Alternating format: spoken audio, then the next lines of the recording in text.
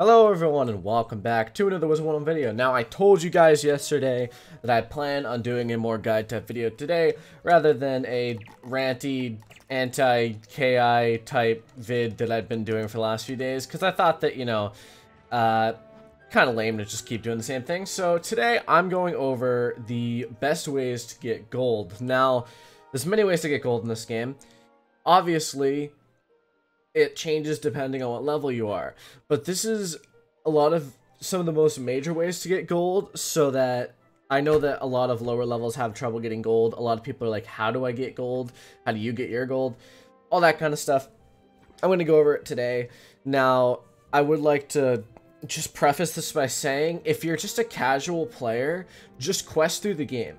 If you quest through the game, you are going to have no problems with gold whatsoever my Death Wizard questing from like probably Avalon to I mean just Avalon alone was enough to get way over a hundred thousand but he constantly teeters on max gold and I have to buy uh, treasure cards and stuff to prevent him from reaching max gold because I constantly get more gear to sell.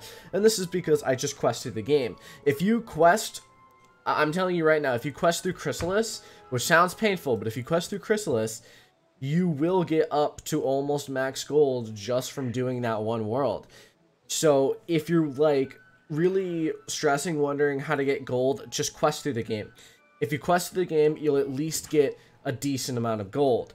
But likely you didn't click on this video wanting to know how to get gold just by questing. You wanted to know specific ways. So I'm going to go over a few of those now.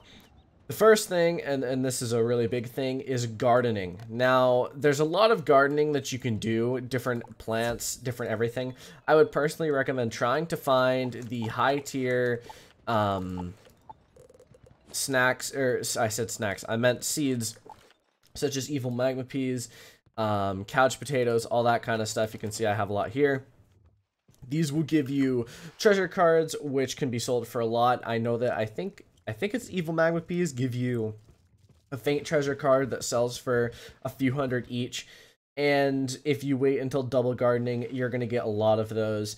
It's a decent way to get gold. I recommend just getting a lot of plants to do and then find one that gives a good treasure card because I don't know all of them and I can't know all of them. Um, I'm going to look up Wizard 101 most valuable Seed. King parsleys are good. Um,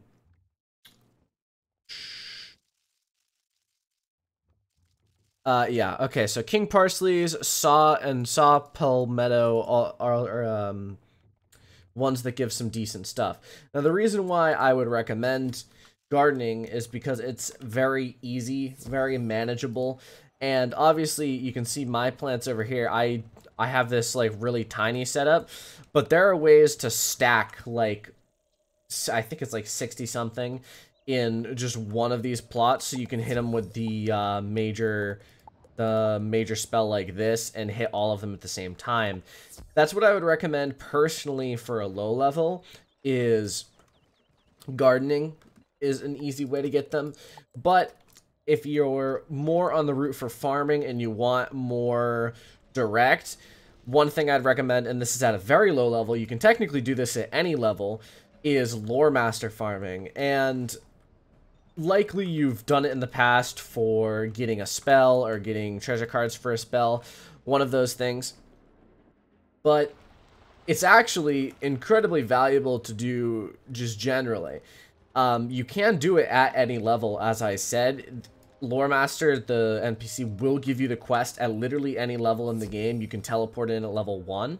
So if you wanted to farm at level 1, you can. I wouldn't recommend it. But um, actually, I don't know if it is any level. Is it still any level? I thought it was, but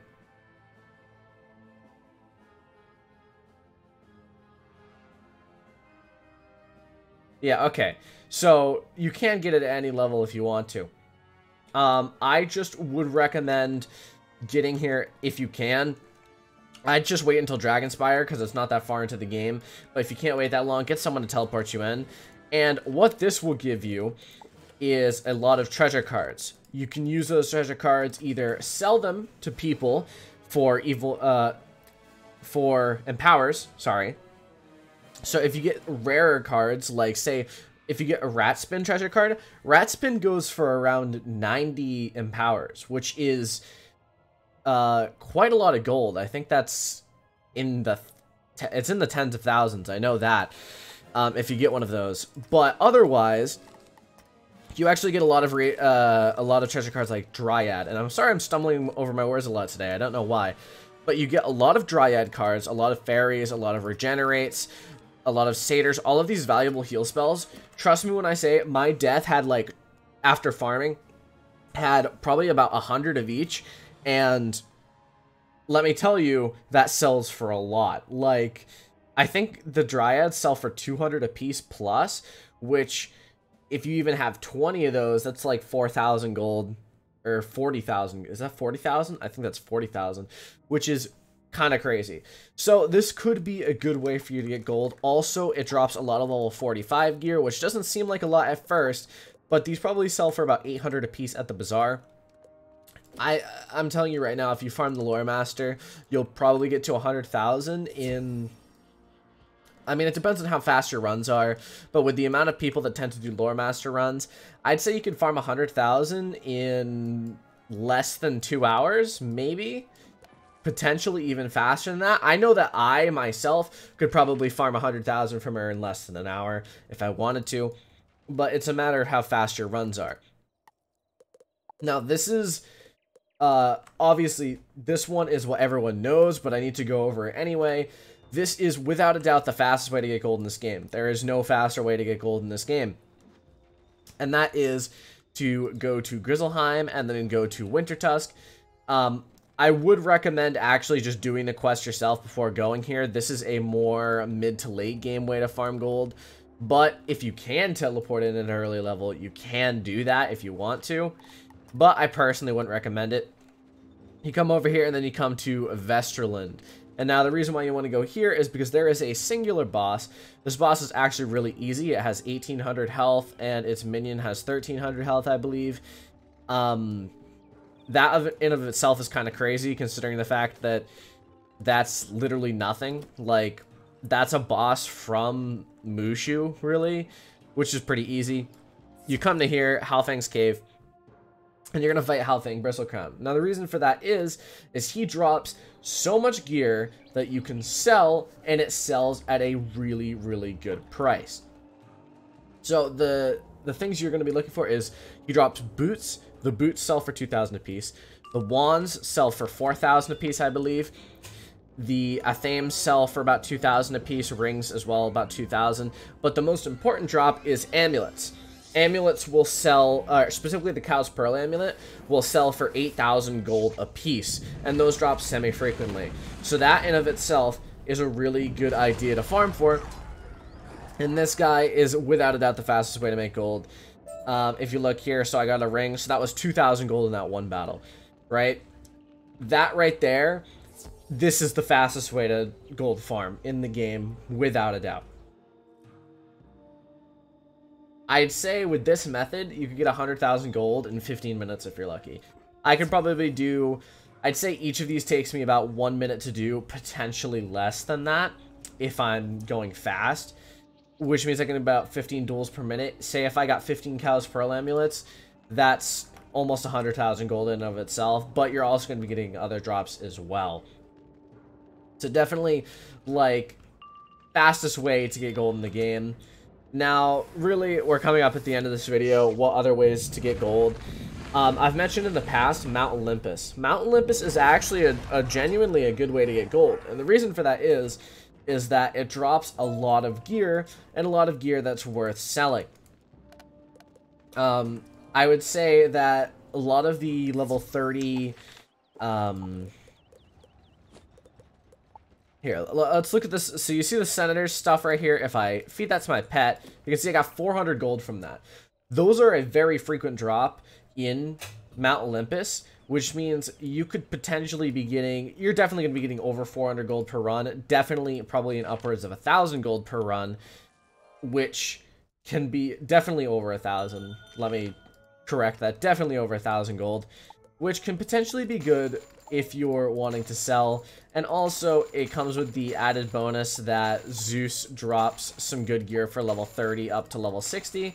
So, that's what I would recommend at low level. That's my entire thing. Let me uh, actually real quick show you the...